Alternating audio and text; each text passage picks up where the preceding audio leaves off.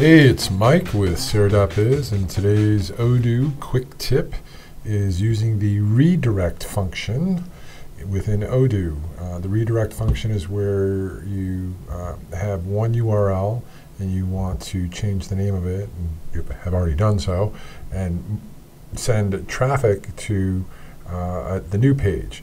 Uh, and we want to use a 301 uh, is the status code. It's a little geeky. I don't really want to go into it completely as far as what the geek aspects are. I just want to show you how to do it.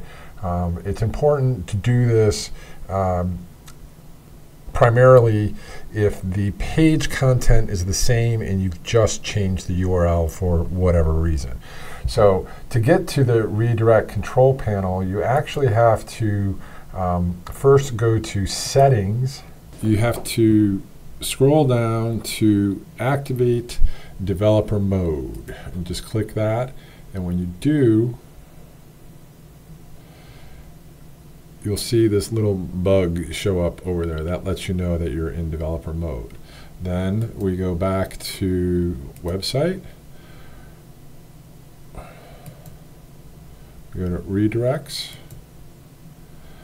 And then we can just add a new redirect. So let's say, you know, old URL, you got to put in a name. Uh, we're going to make this a permanent redirect. And the old URL was slash old uh, dot HTML. And we want to redirect to slash new. Uh, so you've already created your page. There's no dot .html. Um, it's active, and then sequence. Sequence is a little funny. Uh, basically, just leave it set at zero, and then, and now if somebody goes to old.html, they'll be redirected to new. Uh, let's see that in action. So let's go to old.html, and you see it redirected and we're on our new page. So that is how uh, it works if you want to do it one at a time. Uh, if we want to do a bulk function and, and do that, because a lot of sites often when they're migrating have a lot of pages that they need to move over and, and sometimes need to change the URL. Uh, editor mode, configuration, redirects. Um, the first thing we need to do is uh, create a spreadsheet with everything. So here, uh, let's see if we are going to do it again.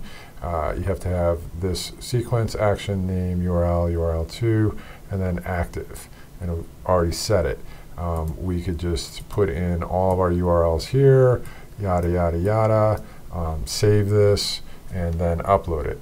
In this case, we're using um, Google Docs. Uh, what we would have to do is save as an Excel spreadsheet and I'm saving this as the template and it's now saved. Then we would go to this little gear and then import records, and then upload data file. Uh, the one I just downloaded was Odoo 18 redirect template. Um, and you see it's showing us the mapping of uh, our column names to actual field names within Odoo. Uh, we test it first, and it's all good. Um, and then we could just import it, and it would import everything. And we can see it was called old page HTML. If we do a quick search, there it is. So that's how you can do it manually, and that's how you can use a spreadsheet to do bulk upload of URLs we want to redirect. All right, that's it for today. If you have any questions, feel free to leave a comment and or reach out to us. My name's Mike with Serr.biz. If you like this video, like and subscribe. I'll see you next time.